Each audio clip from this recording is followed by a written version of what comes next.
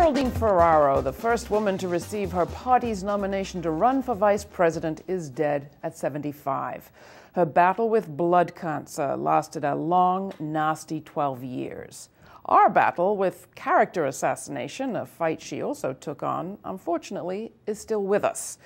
Today, when every display of hate is scoffed off or dismissed as the work of supposedly independent Tea Partiers, it's worth remembering that every bit of dirt that could be dislodged from the earth was hurled at the country's first female candidate for vice president. And it wasn't just spontaneous sexism or New Yorker hate, it was the Republican Party's chosen tactic. It's barely recalled now in media accounts, but in 1984, pickets followed Ferraro's campaign around and drowned her speeches out with heckling. They called her names, and because she was pro choice, they cast her as a baby killer. Ferraro, Vice President for Death, was one of the kinder slogans.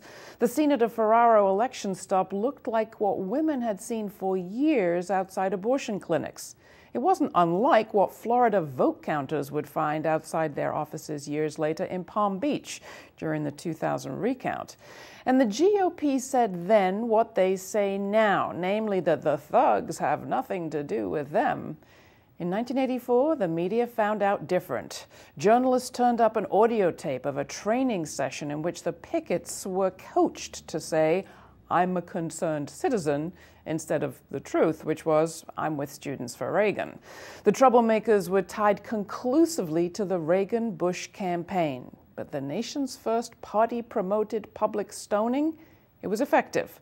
Ferraro fell and stoning rose. It's with us still. Just ask Elizabeth Warren. Enjoy Grit TV? Want more people to see it? Well, we are making our show available free to public television stations. We need your help to express your opinion. If you'd like to see the show where you live on public television, call your local station and ask for Grit TV with Laura Flanders.